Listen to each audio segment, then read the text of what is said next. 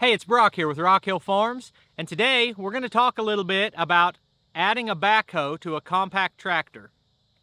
Compared to any other attachment that you can put on a tractor, a backhoe is a very expensive option. And it's not nearly as capable as something like a mini excavator. So there's a lot of debate online in forums and Facebook groups and stuff like that about whether or not it really makes sense to spend that much money on that unit. And I've had mine for a few years. I've used it a lot. And I'm just going to give my opinion. And these types of videos where I just sit around and give my opinion, I usually call those Brock Talk videos. And I normally film those on my front porch. But I got a request from a regular viewer saying I ought to film them down by the pond. So I thought we'd see if that makes a little bit nicer backdrop. And you guys know how much I love my pond. So I want to start off by comparing cost and practicality between renting a mini excavator every time you need to use it and buying a tractor backhoe. Now your numbers are going to vary whether we're talking about the rental, which will vary depending on your location and the size of machine you're getting, or if we're talking about the backhoe, that's going to vary based on the brand that you have and the model of tractor. But my compact tractor, 38 horsepower, 2 Series John Deere, the backhoe was $9,000. And that is a lot of money. And the first thought you have is, man, you could rent an, a mini excavator a lot of times for $9,000. So let's look at that claim first. It cost me $200 to $250 to rent a mini excavator. I know that because I've rented one twice since I've had my tractor backhoe, and we'll get into that later, why I did that. But $250 a rental, four times is a thousand, times nine, you're at 36 times you could rent a mini excavator. And I just checked my playlist. I have a playlist that's just for the backhoe. And I have 34 videos in my backhoe playlist. Means I've used it on camera 34 times. So it's probably actually more than that. 34 times using that backhoe would equate to the cost of renting it, it would have already paid for itself. But to be fair, some of those tasks, I would have saved those up and done them in, in clusters so I didn't have to rent the machine 34 times. So I don't want to make the case that it's paid for itself because it's probably not true. And you get more bang for your buck if you rent the backhoe or the mini excavator for a week. It was around $1,100 when I rented it for a week and probably three or four times I could have done all this work. But the problem with that math is my backhoe is not worthless today. If I was to sell my tractor, I could get four or five thousand extra dollars because of the fact that the tractor comes with a backhoe that's quick attach and, and fit to that machine. So if you really just want to base it on math, you would say what is the depreciation of the backhoe versus the rental cost? Because it's going to be a long time before that backhoe is worth nothing. And if you're looking at it from that standpoint, I think the backhoe looks a little bit better. Now, no matter how you look at it, it comes down to how frequently do you use it. I've used mine a lot, and I have a lot going on, and I do some projects for YouTube even. So I probably use it more than most people, but I thought those numbers might surprise a lot of you. Here's the bigger point to me. It's not really about numbers at all to me. Because if I was just doing math, I probably wouldn't own a tractor at all. I would pay someone to brush hog for me. I would pay someone to till a garden for me. I mean, because I had a tractor, I could till my own pumpkin patch, but I also could have paid someone $100 to do that. And my tractor came in, my tractor cost like $31,000, but it came in a package with a bunch of attachments, the backhoe, a mower, tiller, box blade, and a trailer and other stuff, and it was $50,000. For $50,000, I could pay people to do work out here a lot. But that's not the point at all.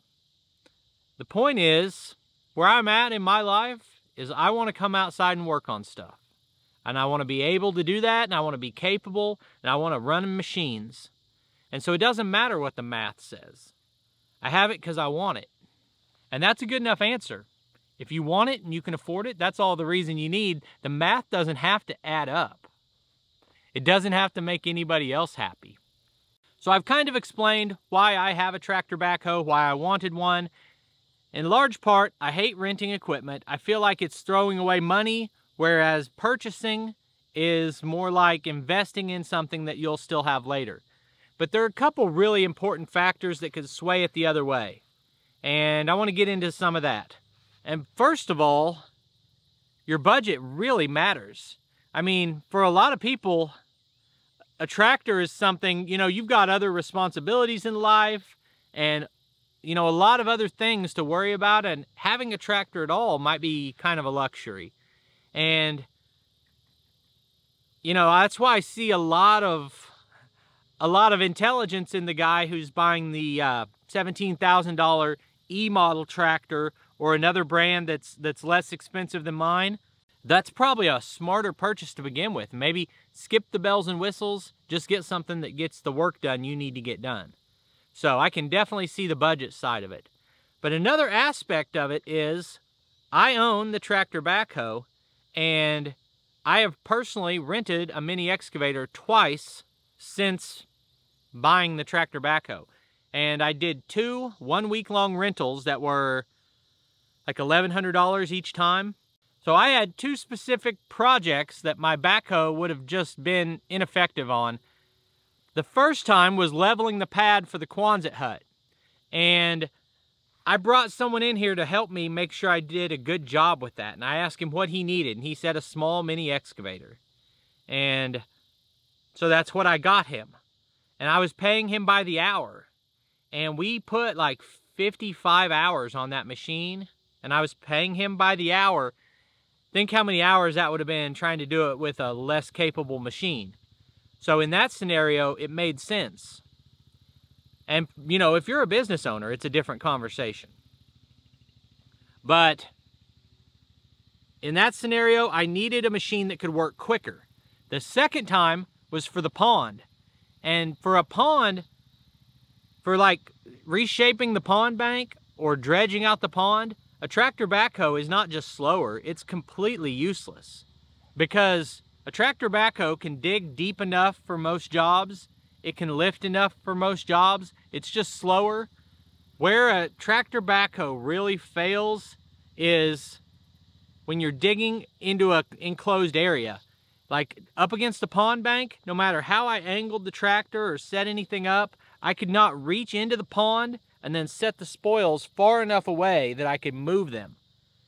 So no matter what I tried, it just, it, it couldn't accomplish anything on the pond.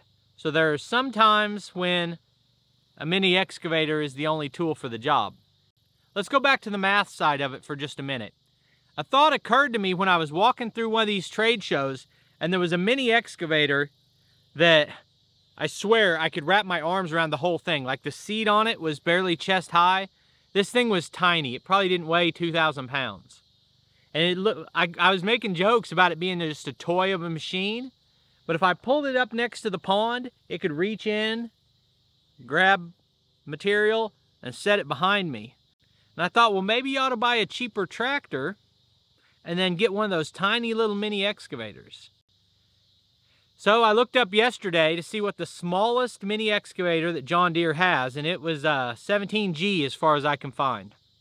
Now, if I'm wrong on that information, feel free to let me know. I just did a Google search. Now, I did a Google search on the price for that tiny little 17G mini excavator. They're going for like $35,000. So for most people, the concept that instead of a tractor backhoe, I'll get a mini excavator, that's pretty tight to fit that into most budgets. So from a math perspective, having a mini excavator, it's a lot of rentals before you pay for a mini excavator. And I desperately, I would love nothing more than to buy a mini excavator. But man, that's a lot of rentals before you pay for one. Because a new one in the class and size that I want is probably 70000 And so that's 71 week rentals. And say you rented one five or six times a year, you're talking like 12 to 15 years before you paid for the machine. But once again, at the end of that time, the mini excavator is not worthless. This is not an attempt to tell anyone what to do, because what do I know? I'm just some guy. What it, what I'm out here to do is just share some thoughts, and then I'm going to read your comments, and it's a conversation. And it's meant to be helpful to someone who is in the market to buy a tractor and is trying to decide if the tractor backhoe is worth it. And I guess the last question, would I buy that again? Would I buy that? Well, to begin with, I don't think I'd buy the same tractor. But I think I'd find a way to not spend $50,000 on my tractor purchase. I'd probably get a cheaper tractor and get the backhoe, is what I would do if I was buying one today. Feels like this video kind of wandered all over the place. I don't know if it made any sense or was helpful to anyone, but it is what it is. I'm just trying to share my thoughts. I appreciate you taking time to watch the video. I'll put links on the screen to a couple more of our videos, and I'll see you next time.